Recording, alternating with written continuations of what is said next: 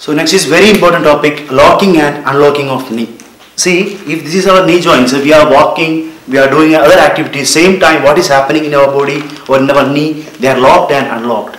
So it is a simultaneous process, but it is a really complex process, but some muscles are acting very cleverly, that's why we don't have any injury, right?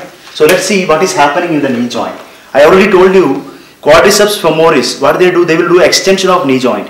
First of all, quadriceps femoris, they will be extending the knee joint by 15 degree, along the 15 degree. At the same time, medial condyle of, this you can see here, medial condyle of tibia and femur, they moves in opposite direction. Medial condyle of eh, eh, tibia and femur, they are the part of knee joint, right? Tibia and femur, they moves in the opposite direction and they lock the, they make lock in the knee in extended position. So now knee is locked. Who locked it? With the help of quadriceps femoris and medial condyle of femur and tibia, they helps in the locking in the knee in the extended position.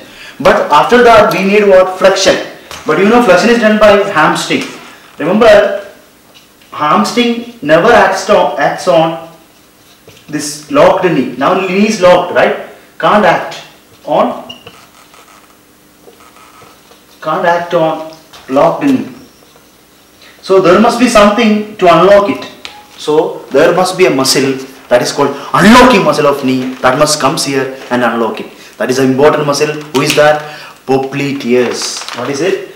So who is the unlocking muscle of knee? Popliteus. So popliteus they will come and unlock the muscle, unlock the knee joint, so that who can act now? Now hamstring can act.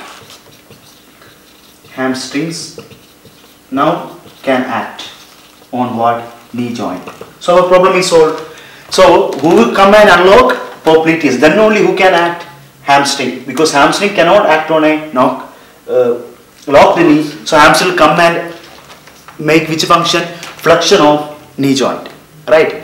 Now see we are doing unlocking and locking lot of time a day. Right. So there can be big chance of injury, crush and injury, crush and injury in the lock, uh, the knee joint. But who is helping that? One of the this is popliteus. See there is medial menisci and lateral menisci. So most commonly people who are having injury at the knee joint, they are more having on the lateral menisci. See the popliteus what they do is they will displace the lateral menisci or they push on the posterior surface. So there is no injury there. So they are acting like an safe muscle or unlocking muscle so people cannot have injury. So there are many conditions clinically the people comes with a flexed knee in a flexed position or locked knee.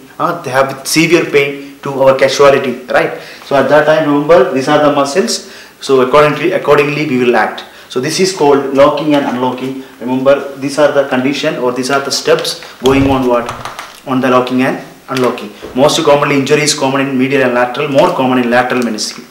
Okay, that's about locking and unlocking of